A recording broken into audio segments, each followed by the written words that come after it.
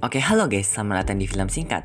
Pada video kali ini, kita akan membahas alur cerita dari film Smurf The Lost Village yang menceritakan tentang petualangan dari empat makhluk kecil berwarna biru yang disebut dengan Smurf yang di mana mereka sedang mencari desa dari spesies Smurf yang baru untuk memperingatkan mereka tentang penyihir jahat yang akan segera datang dan menculik mereka semua. Oke, tanpa banyak curhat, kita mulai alurnya. Film ini dimulai dengan sebuah perkenalan mengenai penduduk dari sebuah desa yang sangat rahasia yang berada di tengah hutan yang di mana mereka menamai diri mereka dengan sebutan Smurf yang merupakan makhluk kecil berwarna biru yang bentuknya seperti manusia namun bukan manusia. Semua Smurf yang ada di sana menamai diri mereka sesuai jati diri mereka seperti Clumsy yang merupakan Smurf yang canggung, Hefty yang kekar, Brainy yang cerdas, dan banyak lagi. Mereka dipimpin dengan satu Smurf yang sudah berumur yang bernama Papa Smurf. Oh ya, semua penduduk yang menepati desa tersebut 99% merupakan laki-laki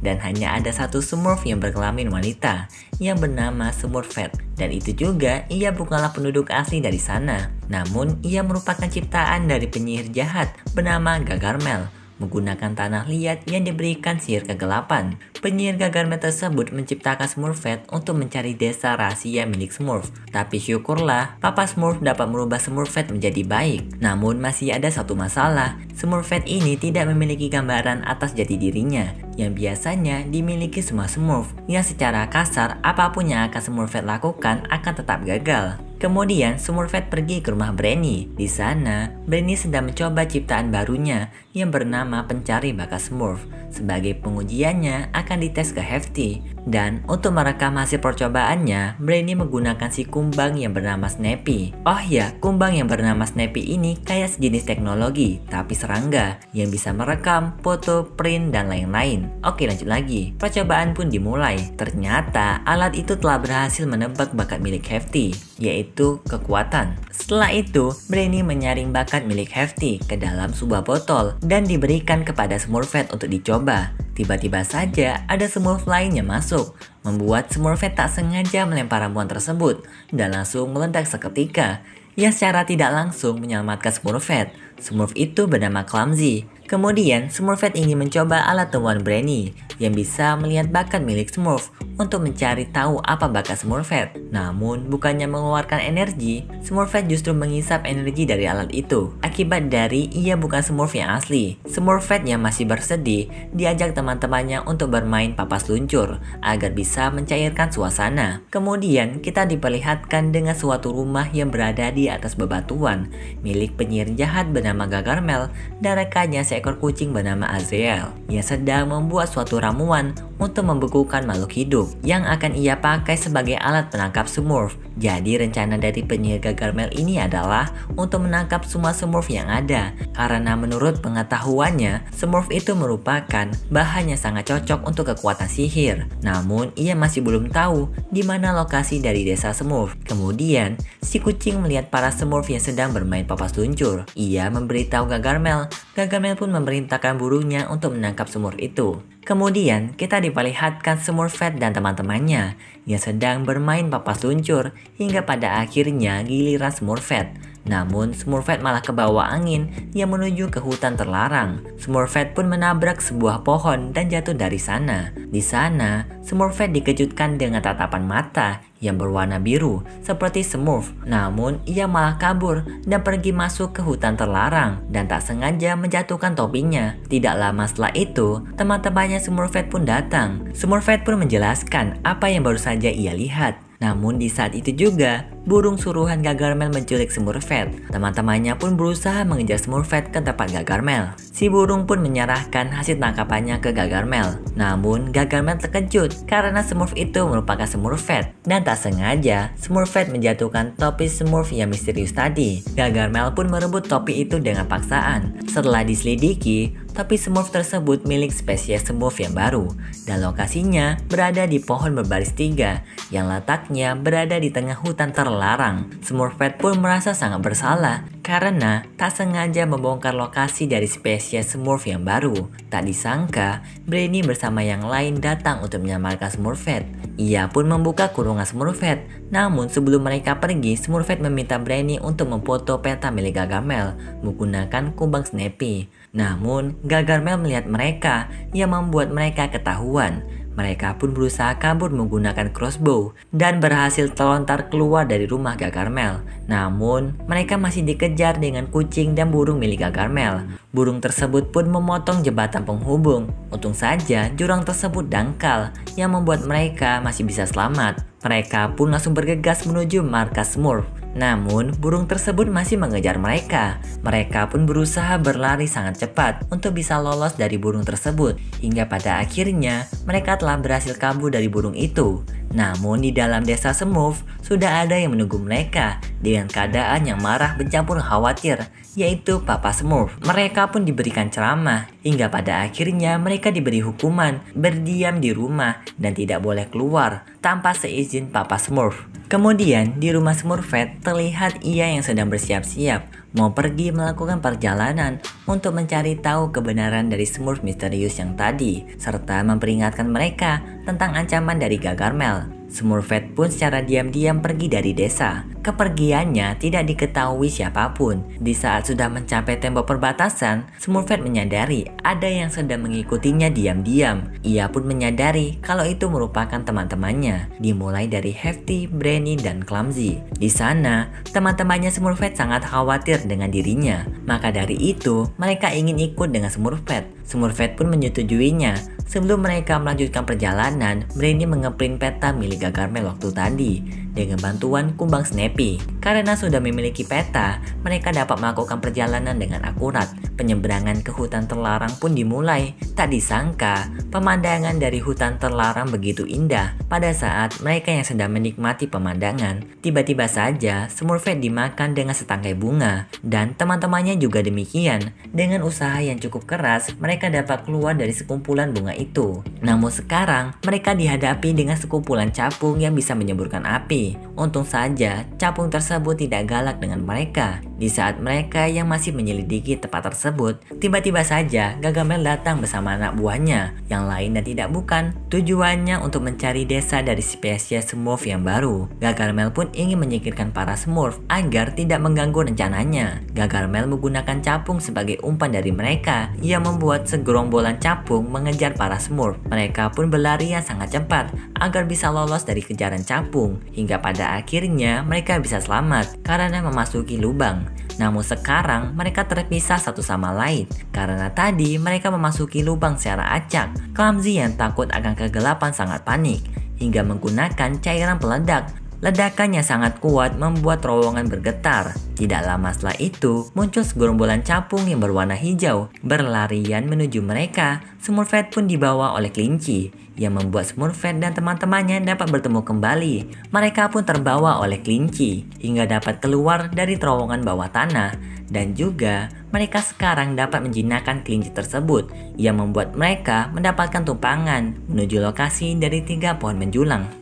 Kembali lagi di desa Smurf, terlihat kalau Papa Smurf memeriksa keadaan dari Smurfette karena ia merasa bersalah akibat tadi malam Papa Smurf terlalu memarahinya. Namun, setelah memasuki rumah Smurfette, ia menyadari kalau Smurfette, Brainy, Clumsy, dan Hefty diam-diam pergi dari desa Smurf tanpa seizinnya. Papa Smurf pun sangat marah. Kemudian, pada malam harinya, terlihat Smurfette bersama teman-temannya sedang beristirahat dan bersiap-siap untuk berkemah. Di malam itu, mereka mengobrol karena masih belum bisa percaya adanya dari spesies Smurf yang baru. Mereka pun membayangi bagaimana bentuk dari spesies Smurf yang baru. Dimulai mulai dari bentuk yang lucu sampai yang menyeramkan. Namun, apa pun bentuk dari spesies Smurf yang baru, mereka akan tetap memberitahu tentang ancaman dari Gagarmel. Karena obrolan mereka yang sangat menyenangkan, Brainy mengajak mereka untuk selfie menggunakan kumbang Snappy. Keesokan harinya, mereka melanjutkan perjalanan bersama tupangan dari si kelinci Namun perjalanan mereka terpaksa berhenti karena adanya sungai yang memiliki bentuk arus yang sangat aneh membuat si kelinci tidak berani untuk berenang. Mau tidak mau, mereka harus membuat kapal mereka sendiri untuk bisa melewati sungai tersebut. Dengan pengetahuan yang dimiliki Branny, satu buah kapal berhasil dibuat. Mereka pun mulai berlayar. Perjalanan mereka melalui arus sungai tersebut berjalan sangat lancar. Hingga pada akhirnya, mereka tak sengaja berpapasan dengan Gagarmel. Mengetahui hal itu, Gagarmel langsung mengejar para semur. Namun di perjalanan tersebut, arus sungai semakin besar. Clumsy pun menarik tuas agar kecepatan dan keseimbangan kapal menjadi meningkat. Dengan susah payah, mereka dapat melewati arus tersebut, namun tidak dengan Gagarmel yang kehilangan kapalnya dan mau tenggelam.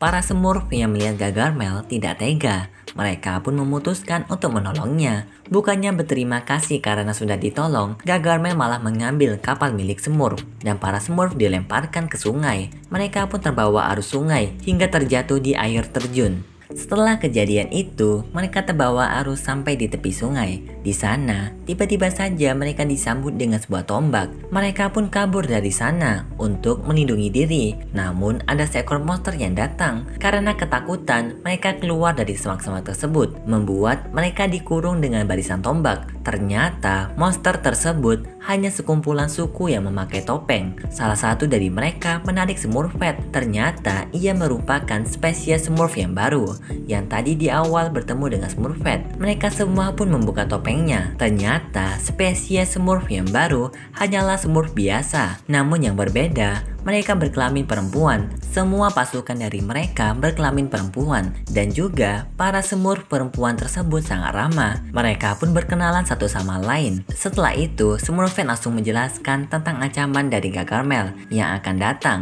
Para semur perempuan yang mendengar itu masih belum paham apa yang dimaksud ancaman dari Smurfette. Untuk membicarakan masalah ini lebih lanjut, mereka dibawa ke markas semur perempuan. Sesampainya di markas, terlihat di sana hanya ada semur perempuan yang tinggal di sana. Bahkan penduduk semur perempuan sangat terkejut melihat semur laki-laki, yang di mana itu Branny, Clemsy, dan Hefty.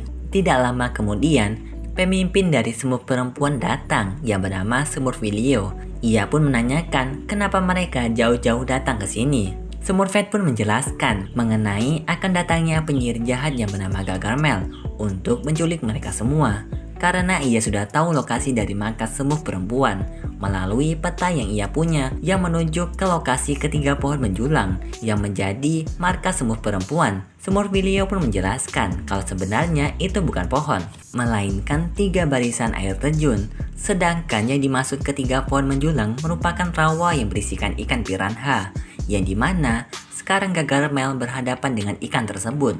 Namun untuk memastikan hal tersebut, Semur Velio memerintahkan Clumsy dan salah satu semut perempuan yang bernama Strom untuk pergi ke tiga pohon menjulang melihat bagaimana bentuk dari Gagarmel. Kemudian, Smurfilio mengadakan pesta penyambutan dari kedatangan Smurfette bersama teman-temannya, kecuali Clumsy dan Strom, karena tadi disuruh untuk mengintai Gagarmel. Smurfette bersama teman-temannya pun berpesta dan bersenang-senang. Kemudian, kita diperlihatkan Gagarmel bersama anak buahnya yang berhasil keluar dari rawa tersebut. Tidak lama setelah itu, Gagarmel melihat Smurf yang sedang terbang menggunakan capung yang merupakan Clumsy dan Strom. Tidak pikir panjang, ia menyuruh burungnya untuk menangkap mereka.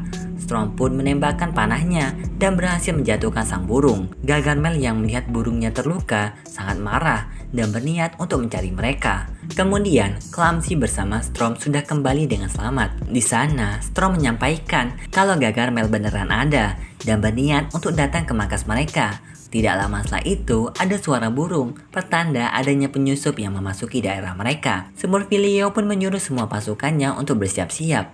Malam pun tiba, namun penyusup tersebut masih belum bisa menampakkan dirinya. Tidak lama setelah itu, muncul sebuah pergerakan dan langsung mengarah ke mereka. Mereka pun menyerangnya. Ternyata penyusup tersebut merupakan Papa Smurf yang sedang mencari Smurfette bersama teman-temannya. Ia pun menyuruh mereka untuk segera pulang. Tiba-tiba saja Papa Smurf bersama Smurfilio membeku. Ternyata serangan tersebut berasal dari Gagarmel. Gagarmel pun memasuki markas mereka untuk membekukan dan menculik mereka semua satu persatu. Hingga akhirnya tersisa satu Smurf, yaitu Smurfette. Gagarmel pun berterima kasih dengannya karena telah menuntun dirinya ke markas sembuh perempuan dan telah menolongnya waktu di arus sungai tadi. Gagarmel pun mencoba untuk membekukan Smurfette, namun energi tersebut justru dihisap oleh Smurfette karena ia merupakan segumpalan tanah dan bukan Smurf yang asli, kata Gagarmel. Gagarmel pun pergi meninggalkan Smurfette sendirian. Smurfette pun bersedih dan merasa sangat bersalah atas musibah ini. Ia pun menangis. Kemudian, kumbang Snappy datang menghampirinya.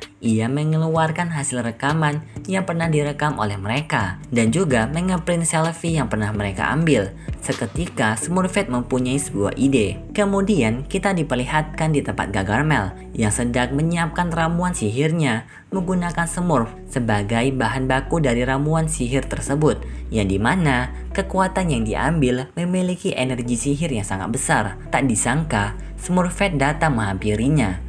Namun bukan untuk melawan Gagarmel, melainkan menyerahkan kesetiaannya kembali kepada Gagarmel seperti dulu. Dan Smurfette akan memberitahu lokasi dari Smurf laki-laki untuk memberikan kekuatan yang lebih kepada Gagarmel. Para Smurf yang mendengar itu sangat terkejut karena sangat tidak mungkin bagi mereka kalau Smurfette akan berubah kembali jahat. Namun justru itu yang terjadi. Gagarmel pun menerima Smurfette kembali dan ia memberikan separuh kekuatannya kepada Smurfette. Namun kekuatan yang diambil oleh Smurfette justru semuanya. Ternyata rencana Smurfette yang sebenarnya adalah ia akan mengisap semua kekuatan yang telah diambil oleh Gagarmel karena kekuatan yang dimiliki oleh Smurfette adalah mengisap energi sihir sampai habis dan juga mengembalikan kekuatan tersebut kembali kepada Smurf. Gagarmel bersama anak buahnya pun terpental karena energi yang dikeluarkan oleh Smurfette sangat besar. Namun, efek samping yang diterima Smurfette membuat dirinya kembali ke bentuk tanah liat. Kasarnya sudah tiada.